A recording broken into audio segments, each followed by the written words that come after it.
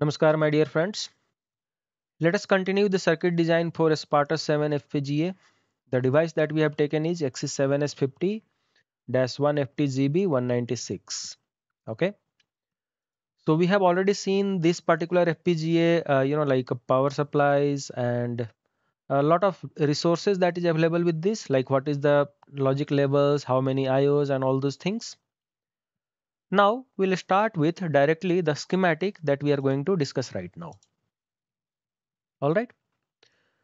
So we saw in the last session how we have designed this particular uh, symbol for this particular FPGA we, which we have uh, XC7S50-1FTGB196C. Now, now let us get into the first page. all right so very first thing that we have to do is the very first thing that we have to do is we have to start with you know like uh, uh, configuration and all those things.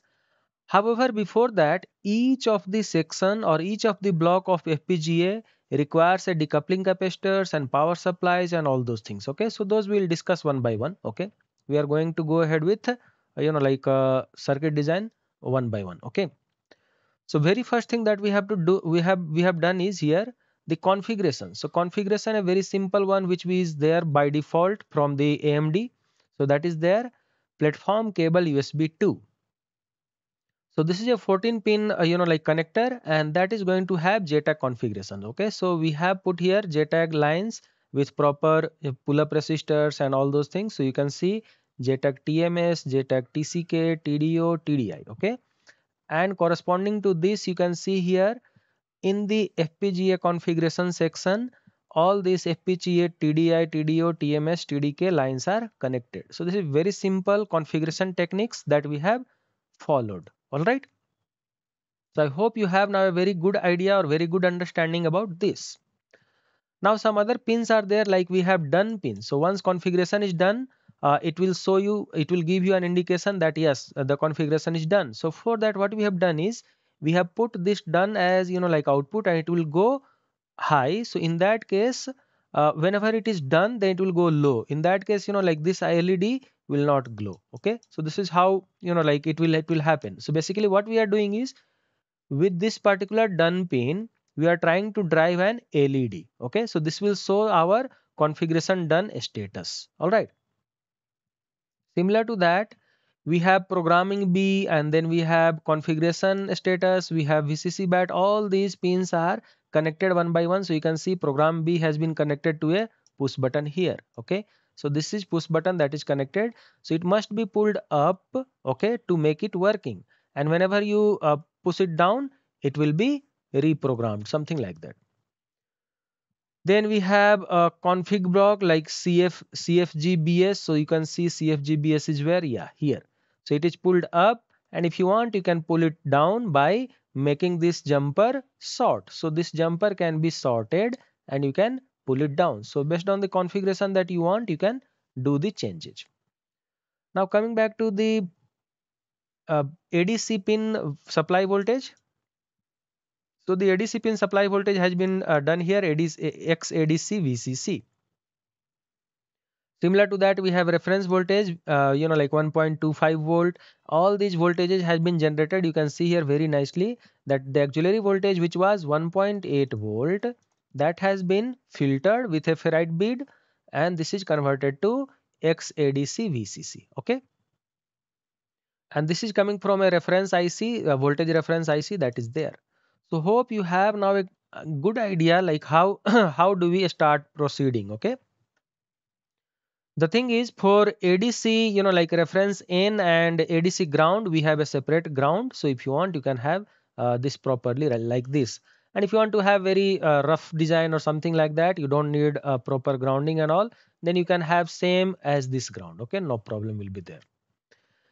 We have this uh, dxp uh, dxp and dxc uh, dxn so this is actually you know like a, a adc differential input we have vp vn if you want you can have this input as well then we have interrupt b pin then we have uh, a qspi okay so this is nothing but your you know like a, a quad spi clock so that is there and then we have mode setting pin so this mode setting pin actually tells us like what is the mode of configuration. So if you come down here, I have listed down several configuration techniques. Okay.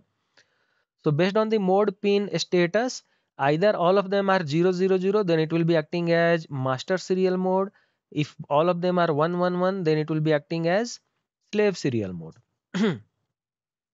then if it is uh, 001, then it is going to be master SPI and JTAG it is going to be 101 so we'll be configuring this particular you know like FPGA with JTAG so that's the reason I have put it default and in that case this particular dip switches three pins are there like uh, pin number one two three. So these upper three are mode 0 mode 1 mode 2 so it actually happens from M2, M1, M0. So this is how it will be configured. So based on that, you can have the status. Right side it will be on that is 1 and left side it will be off okay? So you can see. And this particular status has been taken to IOs of our FPGA so that we can also read them and understand what is the status that is uh, configured or what is the way that has been configured.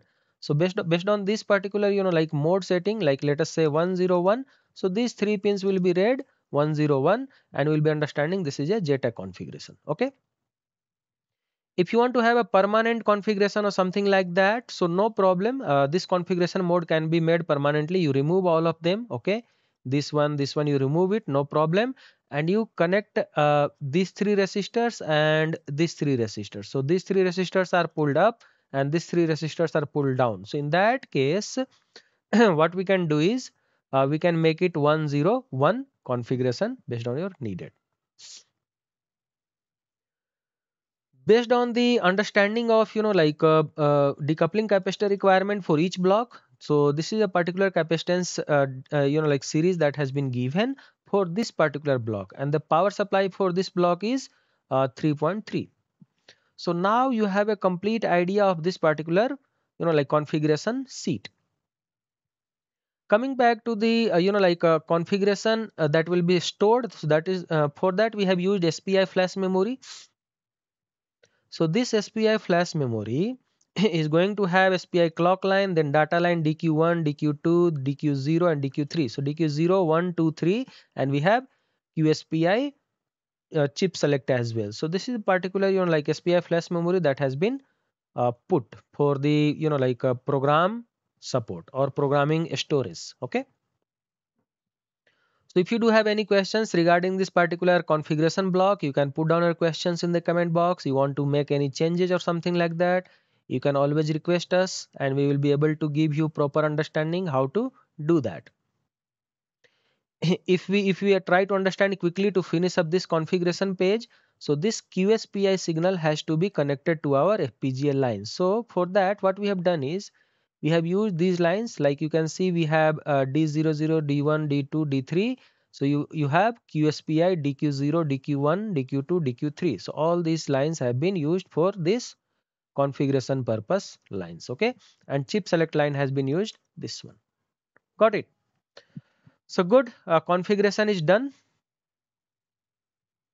Before moving to the next pages of circuits, what we'll do is we'll give you a heads up like how to identify what is the functionality of each pin and what are the things that you should do or decision take decision on that so let us say from my design document from my design document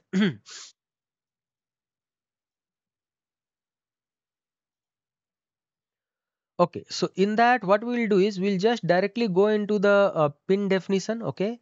So there is you know like a design consideration and pin definition and all these things are there. However what we'll do is we'll go ahead with 7 series pin definition completely okay? So in that case you can refer if you want to uh, you know like refer completely you can refer user guide 475 and 475 you will it, it will give you all, all understanding so this is the pin name and this is the definitions that is there. So if you want, you can have like what is my clock zero, done pin. So done pin C, done indicates successful completion of configuration. Okay. So it is active high. So once it is there, it will be active high. Similar to that, you know, like uh, indicates initialization of configuration memory. So once configuration starts then int b will start. Okay? So this is how all of them are there. Then configuration mode selection all these pins and their definitions are given very nicely. So you can refer this and you can ask us like where you can get this particular uh, pin definition and their understanding. Uh, you can we will give you the solutions. Okay? If you come down now you can see like each of the pins vrn vrp dxp dxn these things we saw in the first one right? So you can see what is the thing that is there for this particular pins all right? That's all. So this was all about this particular uh, you know like fpga pin description. In the next session what we'll do is we'll try to go ahead with the next phase of the circuit like how to connect user IOs, push buttons and dip switches and several other parts of the circuit designs. Alright. Thank you guys.